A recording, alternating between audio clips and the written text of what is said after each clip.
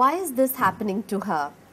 All this grace, such joy, all of life heeding her bidding, this perfect September day. Once again, Meera raises her face to the sky and smiles. Liquid sunshine melds with distilled fragrances, top notes that tease and waltz.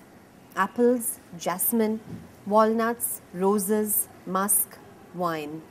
A solitary chrysanthemum, the plop of corks, the steady arc of the stream, cool glass against her cheek. In the Greek myths that Meera loves, there is a goddess who could be her. Hera, wife of Zeus, god among gods, and queen of the universe.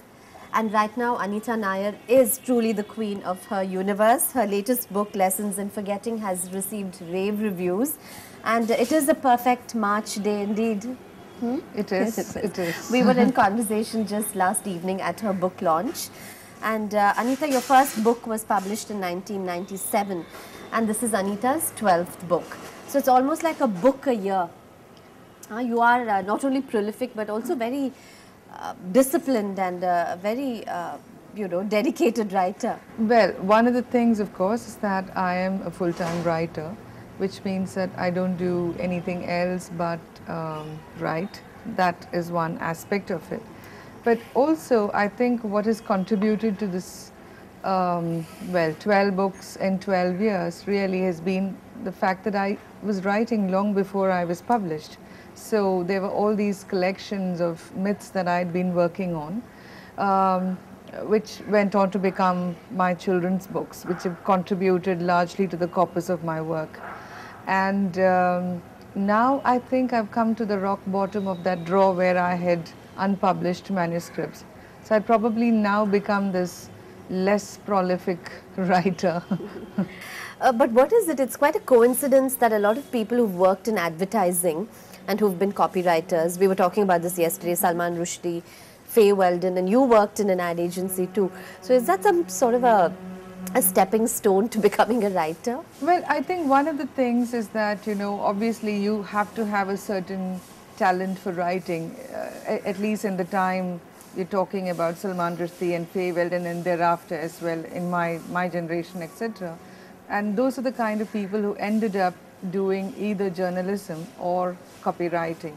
And most of the writers who went into copywriting were very definitely sure that what lay in their life was a book and not um, a Clio, which is the, you know, the ultimate advertising award. Um, so I, I think uh, several copywriters saw advertising merely as a, you know, the means to an end. And, and apart from anything else, I would think advertising is a wonderful training ground for writers who, who, eventually will go on to become full-time writers. It teaches you to write very precisely. And it teaches you dedication, discipline, very importantly, because you know, in advertising, you can't come to work one day and say, I'm not in the mood to write today, I can't work. You have to work, you have to write. So that kind of works into your system and you eventually become a more disciplined writer, which is why I think if you look at Fay Weldon or Salman Rushdie or, uh, or Peter Mayle who wrote, uh, who's another advertising writer, all of them have been prolific writers. They've all produced several books simply because I think you get used to this discipline of writing. Now coming to the book more specifically, the cyclone is the motif in this book. Mm -hmm. And all your books do have a, a recurring theme or a motif. How did the cyclone happen? Well, in this case, you know, I wanted to write uh, about chaos in life, unpredictability in life, and when it happens, what do we do? How do we deal with it? And I needed uh, um, a metaphor that would work uh, well within the context of the book and also lend itself to the narrative structure that is some, something that has become part of my writing style where I try and work in the metaphor into the structure itself. And so I was groping around for a metaphor and then I happened to meet a friend of mine who at that point um, was working on a film on cyclones. And so we met for coffee and we were talking about it and she was describing her experience. And suddenly it just fell into place that this would be the metaphor that I wanted to use. Uh, so the cyclone became a metaphor that I wanted to use because one, the character in my book, the the protagonist, is a is a expert. He's a science um, or a weather expert, and cyclones became more particularly the area that he concentrated on. And the structure of a cyclone is such that it just made itself uh, perfect for the, the nature of this novel and what its narrative structure was going to be. So it was like one of those perfect fits. So, what triggered off the narrative in, in the case of Lessons in Forgetting? Was it a character? Was it an incident? Uh, just a, a feeling, a thought, a mood?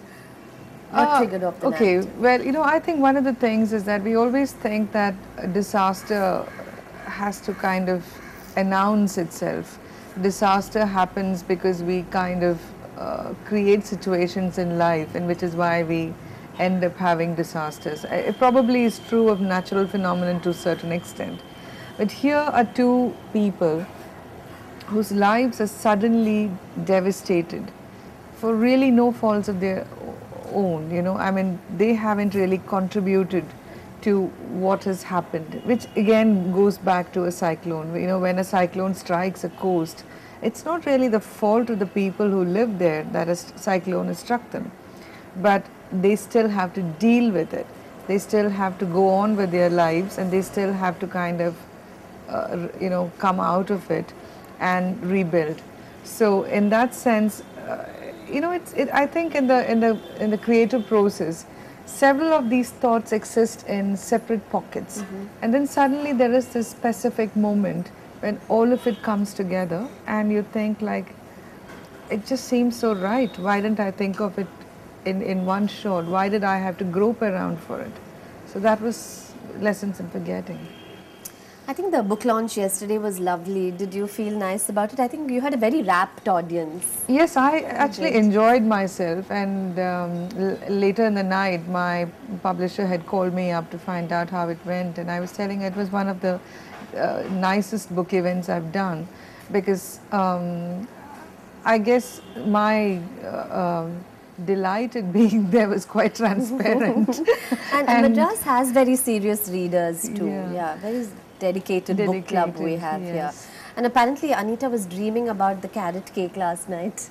well, I came here some some time ago and had this carrot cake, and I enjoyed it perfectly. And I kept thinking when I go back next time to Chamiers, this is exactly what I'm going to have. So we'll we'll take a little break because I'm going to let her read some of what she's been yearning for. Let's do that. Let's take a break. I'm in conversation with Anita Nair.